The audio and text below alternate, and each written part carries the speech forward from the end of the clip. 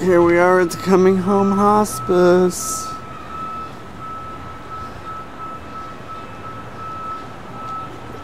Whoops.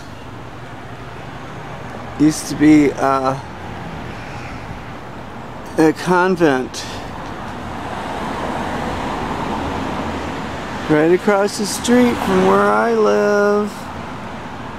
At the Monsignor Line Community. I, I, I, I say it uh, jokingly, I tell people it's the Monsignor Line ex-pedophile community, but I don't know. Some people might not think that's very funny.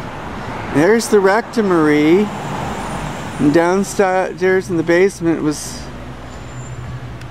where we have meetings. And then there's the post office right there. Oh, and there's a little doggy right there with a leash. What's he doing? What are you doing, buddy?